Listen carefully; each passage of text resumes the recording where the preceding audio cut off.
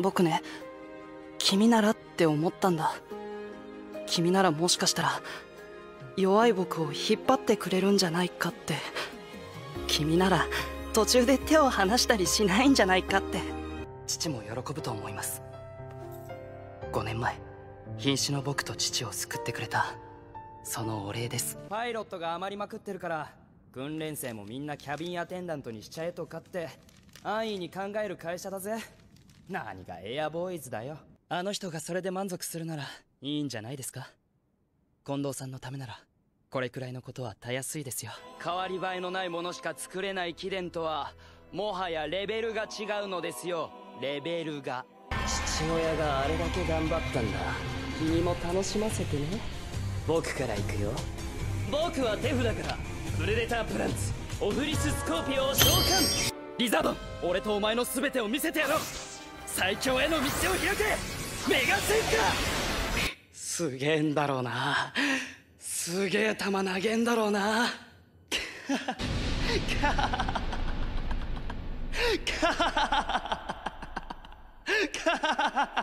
なんか震えが止まんねえぞうるさいチャランポラン大体なんであんたみたいなやつが強いんだよ自分の国誇ってシンドリアでのんびりしてるようなやつが私はそなたたちに代わり姫君と共に羽を探す旅に出る。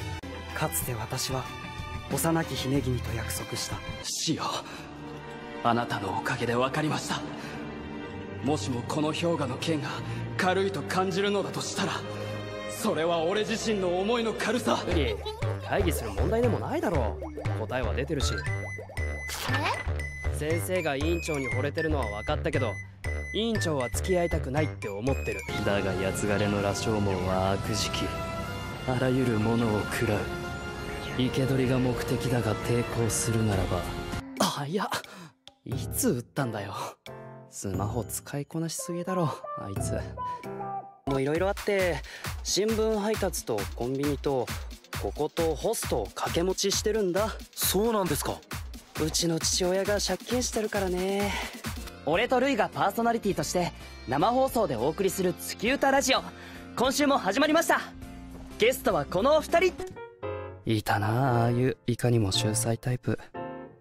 こんな若くて眩しい高校生の中で1年間。俺ここにいていいんだろうか。いけないことだとは分かってるんですが。僕先生のことが先生のことを考えると寮に興味を持ち始めたのっていつだったか多分覚えていないくらい小さな頃だったはず。ただ最初に見た水晶のことははっきりと覚えてる。先輩はストブを守るために部を離れた。それは分かってる。でもヒース君は先輩とまた走りたかったんだ。だから辛くても部を。突っ伏して寝てたら両腕がしびれて動けなくなったり窓ガラスにもたれかかろうと思ったら目測誤って思いっきり頭ぶつけたり人間の話ばっかするのはやめてくれよ。君がどんな洗脳を受けたかは知らないけど日本定期軍だけはダメだ、僕は影だ。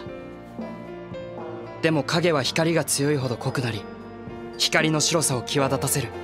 人がこの曲で滑ってきたけど今日から僕が塗り替えてみせる。この曲は僕のものだ。もちろん俺はこれからもデュエルでみんなを笑顔にする。そして必ず父さんを超えるエンタメデュエリストになってみせる。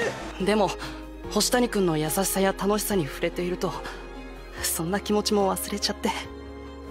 そのくらい星谷君は僕にとっては眩しくて。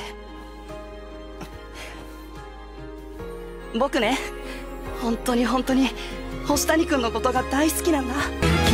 る朝の